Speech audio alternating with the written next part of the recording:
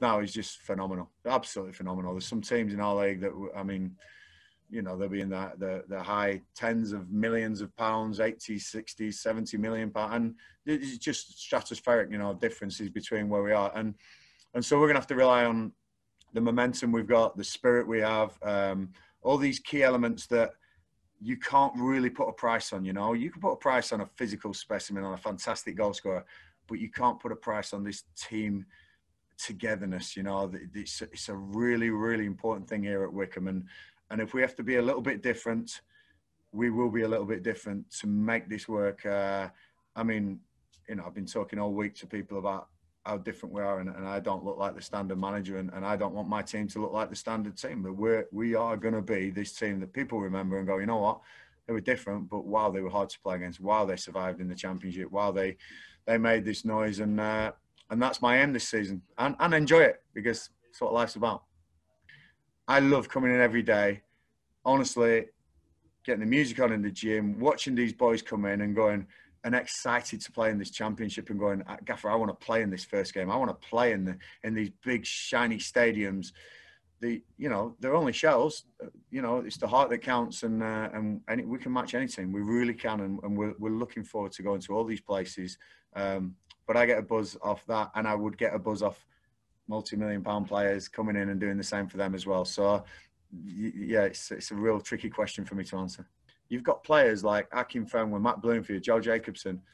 I'll bring a new signing in. They'll stop what they're doing, literally stop what they're doing, come over, shake their hands, because we've all been in that place. We've all been on that first day where you walk in somewhere.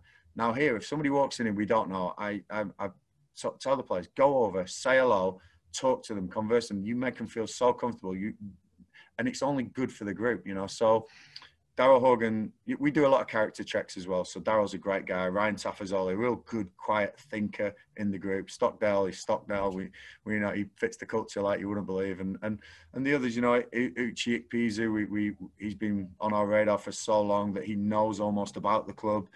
They know what it is to be a Wycombe player. You know, they they really do. And uh, and I think that you'll be seeing that in performances from the boys. And and uh, you know, say we're different. We're going to be different, um, and and we'll see how uh, we'll see how we go. But I'm really looking forward to the, the first game kicking off. I've watched them this week. Um, if any sides quite similar to us in the league, it will be them. Um, real big, strong, organised. Paul Warne's got them working really, really hard. I like them on transitions. I like them.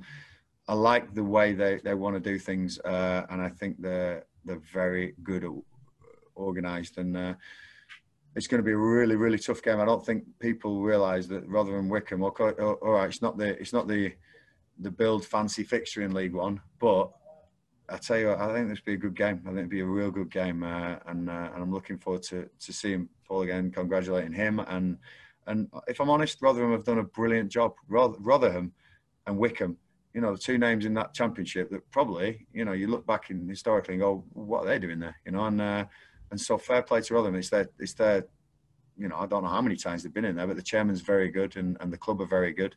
Um, fair play to him. We, we know we, would love to repeat what they did a few years ago and, and, and be in the championship for a couple of years. And there's no reason why both of us can't do that. I said, I said to the boys, nobody will ever take that, that night away from them at Wembley. No one can ever take it. It's recorded in the history books. It's pictures everywhere with video footage and save it all and look back on it and say that's what I did. But you know, we've we're in the championship now. We cannot rest on any laurels.